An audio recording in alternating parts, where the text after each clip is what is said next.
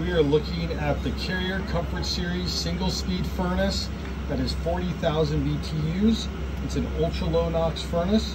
The model number is 58SU0A040E1712.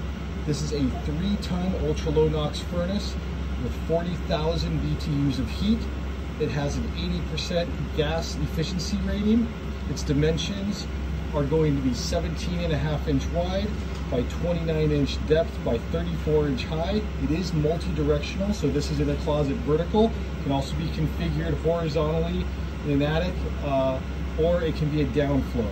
It has a constant torque ECM blower motor with a sound rating of 58 decibels. It uses a four inch double wall B-vent for the flue. It has a one inch filter rack and a half inch gas line and electrical plug. Let me know what you think.